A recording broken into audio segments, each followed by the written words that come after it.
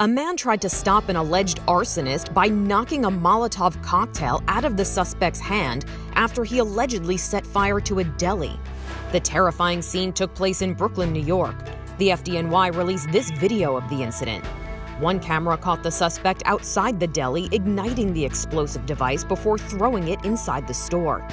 Video from inside shows how the bottle exploded and quickly engulfed the store in flames. Someone is seen running through the fire and tripping while attempting to get out of the store. More video from the outside shows the suspect lit another Molotov cocktail, but before he could throw it, a man knocked it out of his hand and it exploded on the sidewalk. The suspect then ran away. The FDNY says no one was killed, but one person suffered non life threatening injuries. A 38 year old man was arrested and charged with arson, assault, reckless endangerment, criminal possession of a weapon, and criminal mischief. For Inside Edition Digital, I'm Mara Montalbano.